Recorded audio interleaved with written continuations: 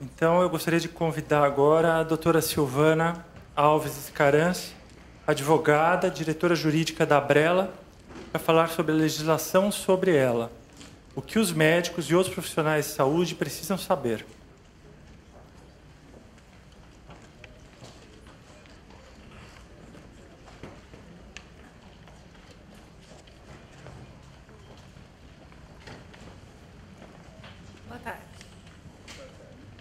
A primeira uh, coisa que eu preparei para trazer sobre o que os médicos precisam saber é a questão das súmulas que existem no estado de São Paulo.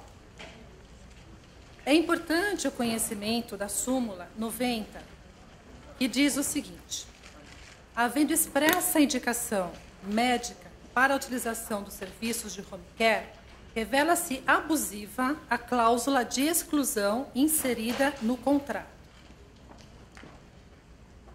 que não pode prevalecer. Então, esta súmula, ela tem o valor de lei. Então, repetir, porque é bom que fique bem fixado, a súmula 90. Havendo expressa indicação médica para utilização dos serviços de home care, revela-se abusiva a cláusula de exclusão inserida na avença, que não pode prevalecer. É assim que o judiciário entende ao sentenciar um pedido de home care que é negado. A súmula 103 é outra súmula muito importante para o conhecimento da área médica. É abusiva a negativa de cobertura em atendimento de urgência e ou emergência, a pretexto de que está em curso período de carência, que não seja o prazo de 24 horas estabelecido na Lei 9.656. E existe também uma outra súmula, que é a súmula 102, que diz que assim, uh, que diz, havendo expressa indicação médica, é abusiva a negativa de cobertura de custeio de tratamento sobre o argumento de sua natureza experimental ou por não estar previsto no rol dos procedimentos da ANS. Esses são os motivos que os planos de saúde costumam negar os pedidos. Então, o Estado, o Poder Judiciário do Estado de São Paulo, criou essas súmulas que elas são encontradas no site do Tribunal de Justiça. Uh, outras coisas que eu trouxe é o caso prático de Maria e o caso prático de Olinda Simonete Brienza.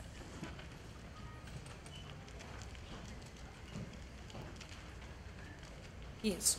O caso prático de Maria Valdemira de Melo Lima é uma senhora que hoje está com aproximadamente 86 anos, está em coma vigil, uh, vitimada de AVC, diabetes várias complicações decorrentes da idade. O que acontece? Ela ficou internada praticamente 2012 inteiro e no início de 2013, ao estabilizar-se a doença, o hospital uh, paulistano e a Mil Assistência Médica é, deram alta. Ela estava em coma vigil, tra tratando-se de estado é, paliativo e foi dada a alta para ela. Eles não negaram o home care, eles forneceram um home care, um home care mas um home care muito precário, e é a mesma coisa que abandono. Então, nós temos aqui na página 1, eu entrei com ação de obrigação de fazer com pedido de antecipação de tutela para manter a forma integral que ela vinha recebendo em hospital ou um home care adequado a essa forma.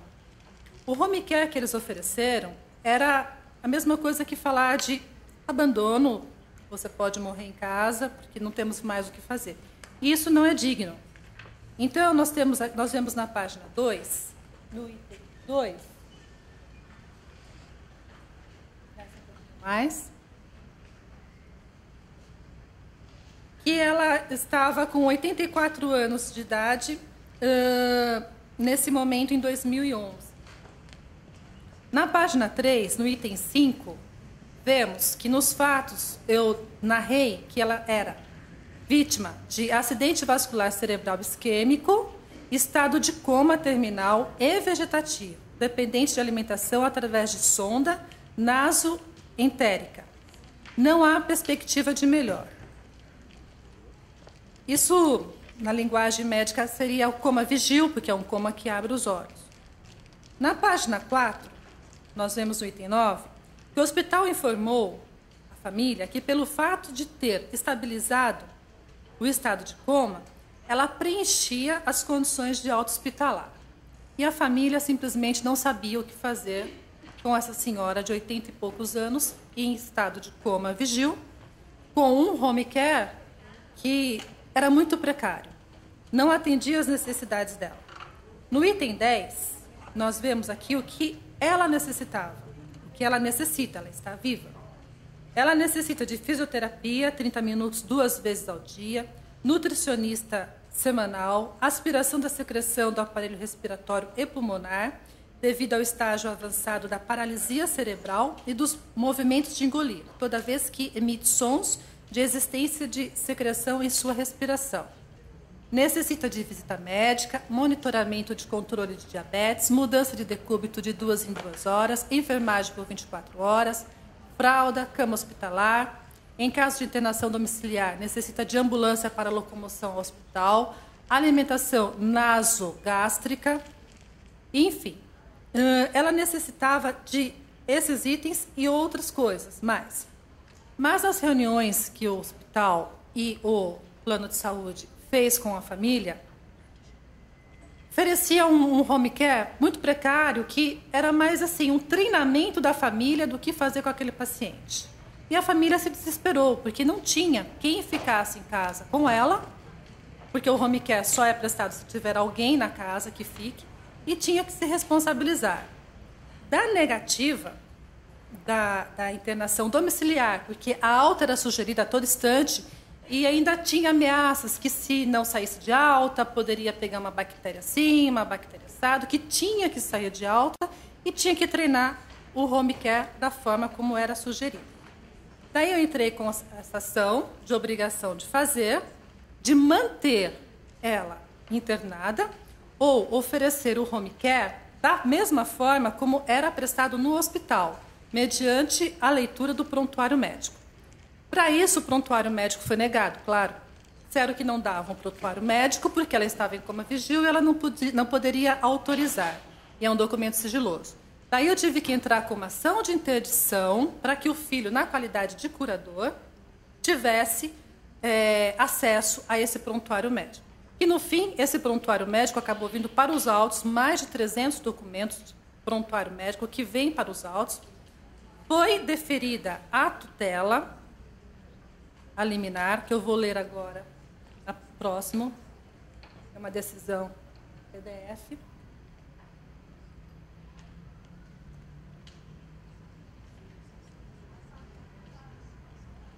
Enquanto ele coloca lá, eu vou antecipando a leitura. Então, no dia 27 de março de 2013, foi deferida a liminar. Uh, vou já partir para o item 5, porque tem coisas aqui que vocês podem ter acesso a esses documentos, são públicos. Esses números do processo que estão lá em cima podem ser acessados pelo, pela, pelo Tribunal de Justiça. Então, vou ler a partir do item 5. A juíza disse: defiro parcialmente o pedido liminar. A autora encontra-se em coma terminal e vegetativo está internada no Correl Hospital Paulistano, custeado pela seguradora Corré Amil. Os relatórios médicos, notadamente de folhas 29, dão conta do grave, grave estado de saúde da autora e da necessidade de manutenção da internação, ou ao menos de que sua alta médica seja acompanhada de integral assistência de home care, tendo em vista a complexidade e a quantidade de serviços assistenciais necessários. Assim, até que se verifique a melhor forma de tratamento médico para a manutenção da vida e da saúde da autora, defiro eliminar para determinar aos réus que mantenham a internação da autora no Hospital Paulistano, mediante custeio do tratamento pela seguradora Mil, sob pena de multa diária de mil reais. Indefiro o pedido de busca e apreensão de prontuário médico, uma vez que a apresentação do documento poderá ser feita no curso da ação se necessário, a instrução processual. Tratando-se de documento que deve ser armazenado pelo hospital, não há risco de perda do prontuário. Em outubro de 2013, em Saneador, a mesma juíza determinou. Próximo documento. Trata-se de ação visando obrigação de fazer, ajuizada por Maria Valdemira de Melo Lima, representada por seu filho e curador, em face de Amil e Hospital Paulistano, em que há requerimento de concessão, concessão de home care pela seguradora Ré, com todos os cuidados que ela teria se internada em unidade hospitalar. Então é importante que, já que não deram, negaram o home care como ela precisava, então ela ficou internada recebendo todos os procedimentos que estavam descritos no seu prontuário médico. E está ainda pendendo a data de perícia para ver como ela sairá da internação. Não é como acham que vão dar o home care, é como necessita do home care. E ela continua internada, então na folha 2, mesmo, é, desse, dessa mesma decisão, uh, nada obstante, resta, mais para baixo, nada obstante, resta claro o relatório médico que indica ter a autora condições para alta hospitalar, porque toda hora dava-se alta hospitalar. Inclusive nos prontuários médicos dela, várias vezes lá alta, pode sair de alta, que há risco de contaminação, etc. Então, bem como a indicação de home care, caso restri... home care, restrito conforme diagnóstico. O juiz entendeu que aquele, aquela alta e aquele home care, como eles estavam oferecendo, era indigno. Então, ela se mantém internada, recebendo um tratamento digno. E na última folha, item 3, o juiz fixou como ponto controvertido, então, a especificidade dos serviços técnicos que devem ser prestados à autora em regime de home care. Não é o plano de saúde que vai decidir o que vai ser prestado em home care. É o que necessita, e é isso que está pendendo de perícia. E ela continua internada em liminar desde março de 2013. Este é o caso da Dona Maria, em que a família não tinha condições de sair com ela de alta, da forma, recebendo o home care da forma como estava sendo oferecido. Eu tenho outro caso, que é da Olinda. Olinda Simonete Brienza, que essa sim é portadora de ela. E no caso dela, ela foi atendida no Hospital Beneficência Portuguesa através do Bradesco Saúde. Foi muito bem atendida, mas davam, davam alta. Deram alta e sugeriram o home care. Só que o home care, ele não foi, ao contrário da Dona Maria, não foi conversado e tentado negociar a família. Simplesmente se calaram e não respondiam aos pedidos de home care. Daí eu entrei com o pedido, com a ação, no caso dela, além de, de, de esclerose lateral neurotrófica, ela 81 anos, ela tinha várias complicações é, de ordem intestinal e ela precisava de, do home care completo. E o Bradesco simplesmente se negava, não, não, não respondia. Aí eu entrei com a liminar, que está no próximo documento de PDF, Eu entreguei esses documentos também para o pessoal que está organizando o evento para divulgar por todos os meios de comunicação, porque são documentos públicos. Então eu tenho aqui isso, essa decisão, essa liminar, definindo a gratuidade processual e a prioridade na tramitação do feito eh, diante da idade. Trata-se de pedido de antecipação de tutela para determinar que a ré Bradesco Saúde custeia o tratamento da requerente com equipe multidisciplinar em home care, tendo em vista a solicitação médica juntada aos autos. Nas folhas 21, por ser a requerente portadora de doença do neurônio motor, uma doença degenerativa do sistema nervoso, que causa fraqueza muscular e atrofia generalizada de caráter progressivo e inexorável, não havendo tratamento curativo. A tutela requerida é de ser concedida antecipadamente de plano, e a juíza aqui foi brilhante ao, ao, ao relatar, ao narrar o seu entendimento. Que a saúde, como bem intrinsecamente relevante à vida e à dignidade humana, é condição de direito fundamental do indivíduo, não podendo ser ela caracterizada como simples mercadoria, nem confundida com outras atividades econômicas.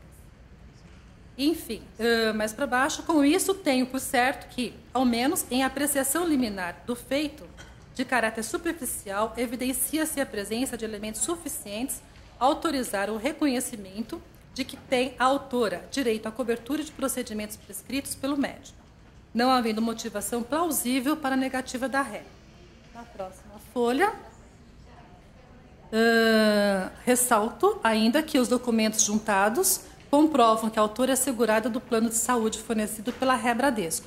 Diante do exposto, dada a presença dos requisitos legais constantes no artigo 273 do Estatuto Processual Civil, defiro o pedido de antecipação de tutela formulado na inicial para que seja determinado a requerida Bradesco Saúde que dê imediato atendimento aos serviços médicos e apoio de equipe multidisciplinar em home care.